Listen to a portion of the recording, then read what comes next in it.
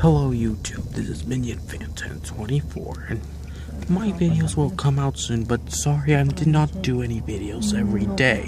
But the new DVD of Peanuts by Schulz, Snoopy's Tales.